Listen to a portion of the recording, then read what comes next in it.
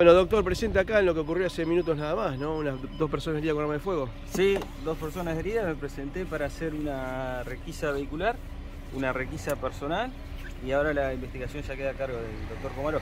¿Pudieron secuestrar el arma?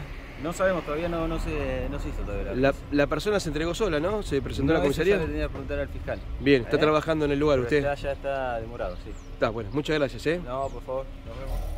Bueno, la presencia del doctor Eber Pregno, aquí, del juez Eber Pregno, presente, la gente de la Agencia de Investigación Científica para hacer una requisa personal. Este, esta persona demorada, está el fiscal Komarowski en la comisaría primera.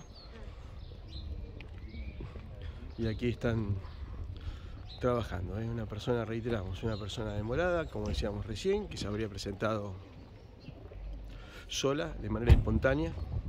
Y aquí llega la Agencia de Investigación Científica para hacer la requisa correspondiente. Dentro de la comisaría se encuentra el fiscal Guillermo Komarowski, como decía recién el juez Eber Pregno, a cargo de la investigación.